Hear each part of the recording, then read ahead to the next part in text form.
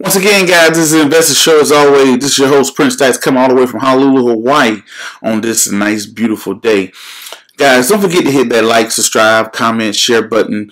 And if you guys got any comments or questions, just drop a comment below. Shoot me an email at askprince.royalfinancials.com or you can just also hit the uh, notification bell button to get so you can be um, on all the videos that I do. But anyway, guys, I don't have a lot of time, and I definitely know you guys don't have a lot of time, so we're going to jump straight into it. So in this particular video, I'm just going to show you how you can purchase bonds on TD Ameritrade. Now, what you're going to do is you're going to go up here to research, and you know, research and ideas. You're going to go to bonds and CDs. Bam.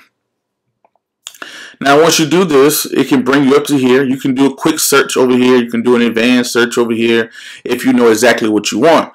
But if you're like kind of new to it, this is another way. They have a nice little wizard here, which is find individual bonds. Now, what this is going to do is going to ask you a couple questions so it can kind of see what kind of fits your criteria.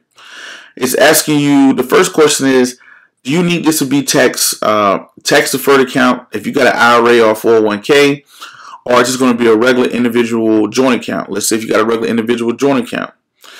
So next up is going to ask you, uh, does this investment need to be tax exempt? Depending on your tax level, um, I would I would uh, recommend that you seek a tax professional, CPA, to go through that with you to see what you may be looking for. So um, it's asking that because it's filtering out which ones it's going to show you. Some bonds are tax exempt, some bonds are not tax exempt. So you say yes, I need these investments. So let's say no. I, just for some, if you say yes, it's going to ask you for what state you're in, so you can see what bonds you want to buy. So we're going to say no just for going through it purposes. It's going to ask you what's your time horizon. Do you um when do you need your investment return? Within a year, one to three years, three to five. We're just going to say three to five. You can go all the way to 20 years or whatever you want to do. Optional, how much money do you have to invest? You can put in here, I only got $500, $100, $1,000, $2,000, whatever the case may be. You click on the uh, next step button. Now it's going to ask you what type of bonds do you prefer. You got Treasury uh, uh agencies and CD. You got AAA, AA, single A, triple B, all the way down to C. And what happened is this is the credit report. Just like we all have credit. Some people got an 800, some people got a 700, some people got a 600, some people got a 5, 4, 3, whatever the case may be. The higher your credit is, the lower your interest rate that you pay out. Same thing in uh, with corporate bonds. If you got a corporate bond, let's say if you're a very sturdy company and you got a high credit rating, and they know that it's a high possibility you're going to pay your uh, you're going to be able to pay your debt, you pay a lower interest rate. Versus if you're a new technology company, you pay a higher interest rate. So that's the way you let's say if you want to look at it high quality, right? Then they say, hey, do you want to allow these to be callable? I'm going to just uncheck this. Callable is like, can the issuer call their bond back? For example, um, let's say if interest rates change, they go up or they go down, they can call their bond back at a particular time. Just pay the bond back and just pay the debt and get their bond back because it probably could get a lower interest rate or a higher interest rate depending on how things are going. You're going to hit continue. I'm not going to get into in detail about the interest rates and stuff like that on this particular video. I just want to give people a filter in a way that they can buy bonds. So now uh, we're going to click off CDs. I just want to look at corporate bonds. Uh, I'm going to take off the strip to zeros. No, we're just going to look at corporate bonds and government sponsored bonds. But you can click on all these if you want to see CDs and everything else.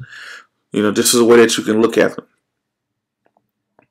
Now it's popping up, you know, they're saying, hey, your search results um, account, you got a regular account, taxable with a time horizon of 2020 to 22. Quality, you want the highest grade, callable, non-callable products.